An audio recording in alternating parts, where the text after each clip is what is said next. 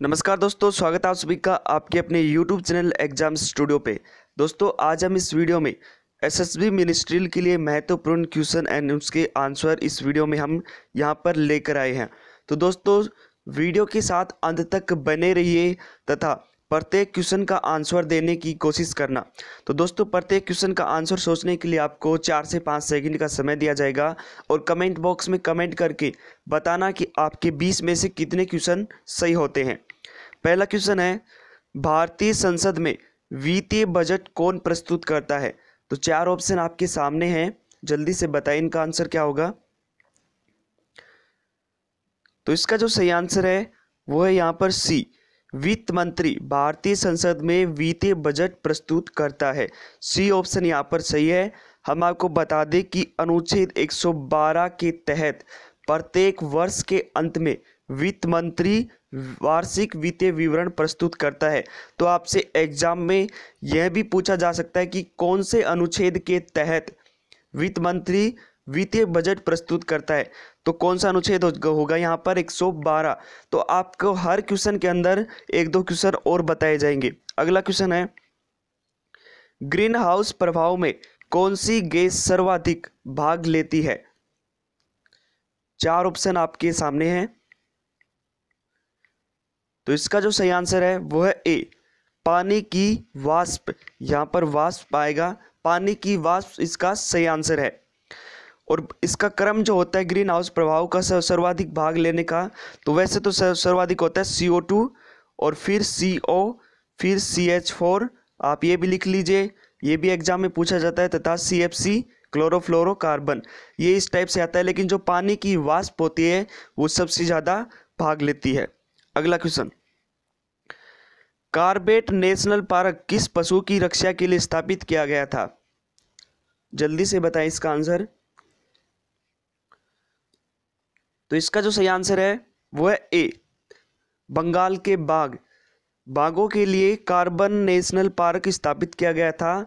इसका पूरा नाम क्या है? जिम कार्बोट जिम कार्बेट राष्ट्रीय पार्क. तो ये कहाँ पर स्थित है? ये भी पूछा जाता है एग्ज़ाम में। तो यह उत्तराखंड में स्थित है। तथा इसका पुराना नाम भी एग्ज़ाम में पूछा जाता है। तो पुराना नाम क्या है इसका? Hailey national park. और एक और क्वेश्चन पूछा जाता है कि स्थापना कब हुई थी इसकी? 1935 में। और एक चीज़ और बता देते हैं कि बाघ की सर्वाधिक संख्या कहाँ पर पाई जाती है? मध्य प्रदेश के अंदर। ठीक है? ये भी क्वेश्चन अधिक पूछा जाता है कि बाघ की सर्वाधिक मात्रा कौन से कहाँ पर पाई जाती है? मध्य प्रदेश में। और मध्य प्रदेश में सर्वाधिक राष्ट्रीय उद्यान स्थित है। ये भी एग्ज़ाम में पूछा जाता है कि कौन से राज्य में सर्वाधिक राष्ट्रीय उद्यान है? तो कहाँ पर है? मध्य प्रदेश में। अगला क्वेश्चन। कौन सा राज्य छत्तीसगढ़ के साथ अपनी सीमा का साझा नहीं करता है? तो चार ऑप्शन आपके सामने है। तो कौन सा राज्य छत्तीसगढ़ के साथ अपनी सीमा का साझा नहीं करता है? तो आपका जो सही आंसर है वो है यहाँ पर ए। आंध्र प्रदेश छत्तीसगढ़ के साथ अपनी सीमा का साझा नहीं करता है। कौन कौन से राज्य साझा करते हैं? उड़ीसा, झारखंड, महाराष्ट्र और एक और राज्य है तेलंगाना। ये चार राज्य छत्तीसगढ़ के साथ अपनी सीमा साझा करते हैं। अगला क्वेश्चन। भारत की सबसे लंबी नदी का नाम बताइए। सभी को पता है लगभग? तो इसका जो सही आंसर है, वो है आपका बी, गंगा। कितने किलोमीटर है यह भारत की? 2525 किलोमीटर। कितने किलोमीटर है? 2525 किलोमीटर। ये भी एग्ज़ाम में पूछा जा सकता है। गोमुख हिमानी से निकलती है और तथा कहाँ पर जाकर गिरती है? बंगाल की खाड़ी में। अगला क्वेश्चन। महात्मा गांधी द्वारा भारत छोड़ो आंदोलन का प्रारंभ किस वर्ष किया गया था? बताइए। तो इसका जो सही आंसर है, वह है बी। 1942 में यह भी बहुत बार एग्ज़ाम में क्वेश्चन पूछा जाता है। अगला क्वेश्चन भौतिक शास्त्र में नोबल पुरस्कार जीतने वाले प्रथम भारतीय व्यक्ति का नाम बताइए। तो ये भी एग्ज़ाम्स की दृष्टि से बहुत महत्वपूर्ण क्वेश्चन है। तो आपका आंसर बिल्कुल सही है। डी सीवी रमन अगला क्वेश्चन किस भौतिक मात्रा का सीमेंस में मापन किया जाता है? जल्दी से बताए इसका सही आंसर तो इसका जो आपका सही आंसर है, वो है यहाँ पर बी विद्युत चालकता का अगला क्वेश्चन संवेग परिवर्तन की दर क्या कहलाती है? तो इसका जो सही आंसर है आपका, वो है सी बल. अगला क्वेश्चन अगले क्वेश्चन पे चलने से पहले मैं आपको फिर से बता देता हूँ कि अगर आप चैनल पर पहली बार आए हैं, पहली बार हमारा वीडियो यहाँ पर देख रहे हैं तो एग्ज़ाम स्टूडियो के सामने रेड कलर में सब्सक्राइब का बटन है। यहाँ पर क्लिक करके चैनल को सब्सक्राइब कर लीजिए, क्योंकि एसएसबी के विषय में बहुत सारी वीडियो जिस पर पहले भी आती रही हैं और आगे भी आती रहेंगी, ताकि आपको वीडियो का नोटिफिकेशन मिलता रहे। अगला क्वेश्चन है शीतल महाजन किस खेल के साथ जुड़ी हुई हैं? इस प्रकार के क्वेश्चन बहुत सारे एग्ज़ाम्स में पूछे जाते हैं। खिलाड़ियों के नाम दिए जाते हैं तथा पूछे जाते हैं कि यह किस खेल से जुड़ी हुई हैं। तो इसका जो सही आंसर है, वह आपका ए स्काई डाइविंग से। तो आप अच्छे से इन चीज़ों को देखा करें, क्योंकि एग्ज़ाम्स में काफ़ी क्वेश्चन इन पर बनते हैं। अगला क्वेश्चन ए सुटेबल बॉय पुस्तक के लेखक कौन है? तो इसका जो सही आपका आंसर है वो है ए, विक्रम सेठ। अगला क्वेश्चन निम्नलिखित में से हीमोफीलिया का लक्षण कौन सा है? मॉक टेस्ट का आपको फ़ायदा यह मिलता है कि हर एक सब्जेक्ट से आपको मॉक टेस्ट में क्वेश्चन देखने को मिलेंगे, तथा आपका हर एक सब्जेक्ट का रिवीजन यहाँ पर होता रहता है। जैसे आप यहाँ पर बायो के फिजिक्स के, इतिहास के और संविधान के इकोनॉमिक्स के सभी क्वेश्चन आपको इस वीडियो में देखने को मिलेंगे। तो इसका जो सही आंसर है, वो है बी रक्त का थक्का नहीं जमता है। और हीमोफीलिया जो है, वो किस प्रकार का रोग है? यह एक आनुवंशिक रोग है। अगला क्वेश्चन निम्नलिखित में से किसका घनत्व सर्वाधिक होता है? तो आपके सामने चार ऑप्शन है। तो बताइए, सर्वाधिक घनत्व किसका होता है?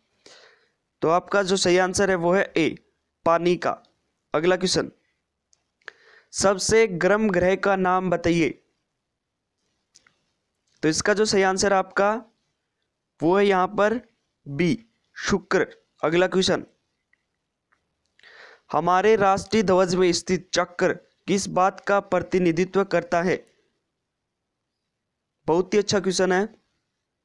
तो आपका जो सही आंसर है यहाँ पर, वो है बी, सत्य का। अगला क्वेश्चन राज्यसभा में अधिकतम सदस्यों की संख्या कितनी होती है? तो राज्यसभा में सबसे अधिकतम जो संख्या हो सकती है, वो होती है 250 अधिकतम हो सकती है। वर्तमान में कितनी है? 245 ठीक है? अनुच्छेद 80 के तहत कितनी हो सकती है? 250 हो सकती है अधिकतम राज्यसभा में सदस्यों की संख्या। और अभी कितनी है वर्तमान में? 245 अगला क्वेश्चन यदि एक गेंद ऊपर फेंकी जाती है तो निम्नलिखित में से क्या परिवर्तित नहीं होता है? बताइए इसका सही आंसर क्या होगा? तो इसका जो सही आंसर है, वो है ए तवरण। अगला क्वेश्चन ब्रह्मांड के अध्ययन को नाम से जाना जाता है। तो ब्रह्मांड के अध्ययन को किस नाम से जाना जाता है? तो इसका जो सही आंसर है वो आपका ए कोस्मोलॉजी और बता देते हैं आपको एस्ट्रोलॉजी किसको बोला जाता है? ग्रह नक्षत्र, ज्योतिषी विज्ञान को क्या क्या कहा जाता है? एस्ट्रोलॉजी और सिस्मोलॉजी सिस्मोलॉजी में किसका अध्ययन किया जाता है? भूकंप का। और लिम्नोलॉजी में जल विज्ञान का, झीलों के अध्ययन को क्या कहता है? लिम्नोलॉजी तो चारों हमने यहाँ पर आपको बता दिए। ब्रह्मांड को क्या कहा जाता है? कोस्मोलॉजी ब्रह्मांड के अध्ययन को। अगला क्वेश्चन ओडिशा में विश्व प्रसिद्ध कोणार्क सूर्य मंदिर किसके द्वारा बनाया गया था? तो आपके सामने चार ऑप्शन है यहाँ पर। बताइए। तो इसका जो सही आंसर है, वो है आपका यहाँ पर ए कृष्णदेव राय। कृष्णदेव राय ओडिशा के विश्व प्रसिद्ध कोणार्क सूर्य मंदिर द्वारा बनाया गया था। और यह कहाँ पर स्थित है? ओडिशा के शहर, पुरी नामक शहर में। स्थित है यह मंदिर। कौन से देवते का? सूर्य देव का। ठीक है, ये भी एग्ज़ाम में पूछा जाता है। अगला क्वेश्चन नेपाली भाषा मुख्य रूप से किस राज्य में बोली जाती है? आजकल एग्ज़ाम्स में भाषा भी बहुत सारी पूछी जाती हैं तो इनको भी आप अच्छे से एक नज़र इन पर भी देखना। नेपाली भाषा मुख्य रूप से किस राज्य में बोली जाती है? तो इसका जो सही आंसर है, वो है सिक्किम। सिक्किम इसका सही आंसर है। तो दोस्तों कमेंट बॉक्स में ज़रूर कमेंट करें कि कितने क्वेश्चन आपके सही हुए हैं। और वीडियो अच्छा लगता है तो लाइक ज़रूर करें और अपने दोस्तों से शेयर करें ताकि वो भी इनका फ़ायदा उठा सके। तो दोस्तों, मिलते हैं नेक्स्ट पार्ट के साथ, नए क्वेश्चन के साथ। धन्यवाद।